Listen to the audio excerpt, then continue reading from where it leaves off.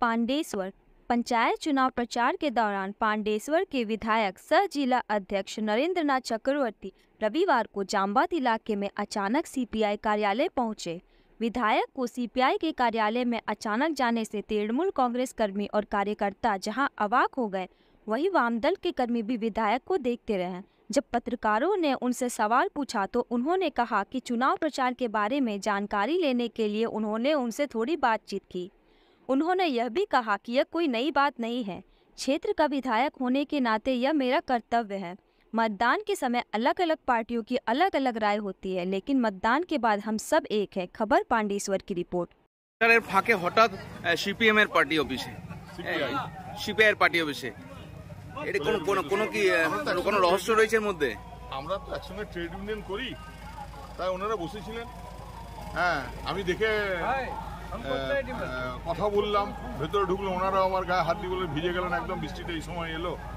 সৌ- সৌজন্য অতীতেও দেখা গেছে তাদের রাজনীতি নেই। স্বাধীনতা দিবসে পতাকা উত্তোলন করতে। না না এগুলো কোনো ব্যাপার না। দেখা সাক্ষাৎ করা সবাই পরিচিত মানুষ আমি তো সবার বিধায়ক। যারা আমাকে ভোট দিয়েছেন আমি তাদের বিধায়ক যারা ভোট দেননি তাদের বিধায়ক।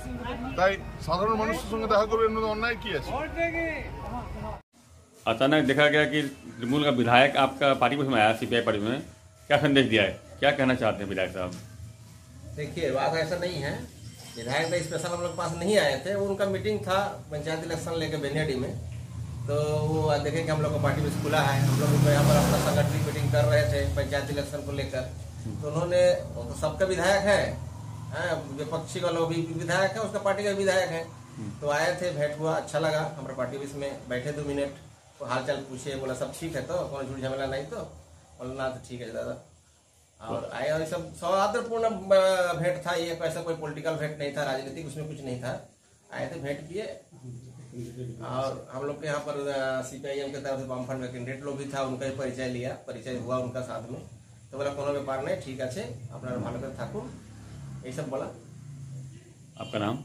मैं दिलीप दास मानिकपुरी जामबाद ब्रांच का सी का संपादक।